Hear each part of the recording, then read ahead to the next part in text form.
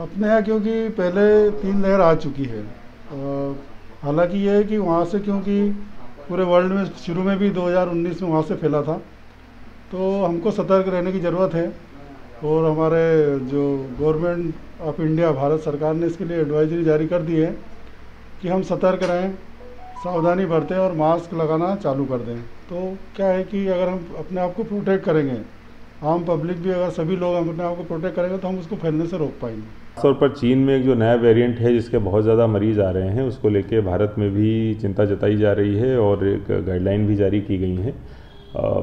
राज्य शासन के द्वारा भी इस संबंध में बहुत जल्दी दिशा निर्देश प्रदान किए जाएँगे। जो भी दिशा निर्देश शासन के आएँगे, उनका अक्षरशा पालन किया जाएगा।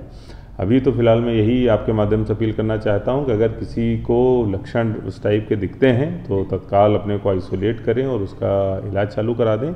चीन में एक बार फिर से कोरोना की दस्तक शुरू हो चुकी है। चीन में फिर से ऐसी खबरें मिल रही है कि वहाँ पे हालत फिर से बिगड़ रहे हैं, जिसको देखते हुए भारत सरकार ने भी कुछ एडवाइजरी अपने सभी राज्यों को जारी किए हैं।